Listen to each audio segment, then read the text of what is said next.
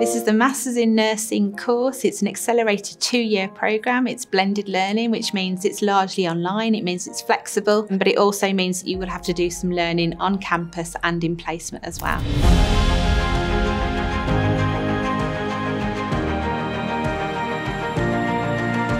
I wanted a change. I wanted to have more impact on people. I wanted to uh, support people more.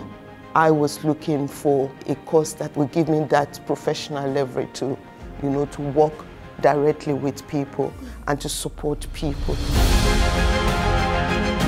It's the flexibility to me, it's how I'm able to work around work, how um, commitment at home, and at the same time, I'm able to find time for myself to go on to the recorded sessions over and over in my own pace. This course is for those of you that are already professionals, but you fancy a career change. So it may be that you fancy that career change, however, you don't want to do the full three year degree. You want to do something that's a bit different, that sets you apart, has got those leadership skills that are highly valued, but you only need to do it in the two years rather than the traditional three.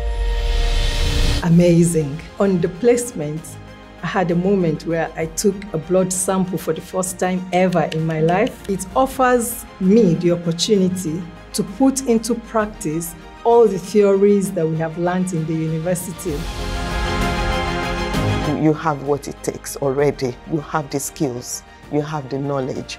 Only you need to upgrade it. Don't be discouraged. You can make it if you are determined. If you want it, you will be able to do it.